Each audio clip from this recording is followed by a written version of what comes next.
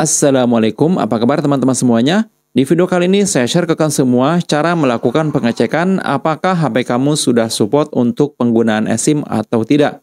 Ya, sekedar informasi, jika HP kalian sudah support menggunakan eSIM, maka kalian bisa menggunakan eSIM di HP kalian.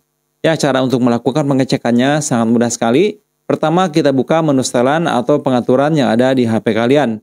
Kemudian kita scroll ke bawah, lalu pilih tentang perangkat atau tentang ponsel. Jika sudah, di sini kita scroll lagi, lalu pilih status. Nah, di bagian informasi status ini, kita cari di sini EID. Jika di sini hanya ditemukan slot SIM 1 dan SIM 2 tanpa ada EID, maka kemungkinan besar HP kalian tidak support atau tidak bisa menggunakan layanan eSIM. Oke, bagaimana? Sangat mudah bukan?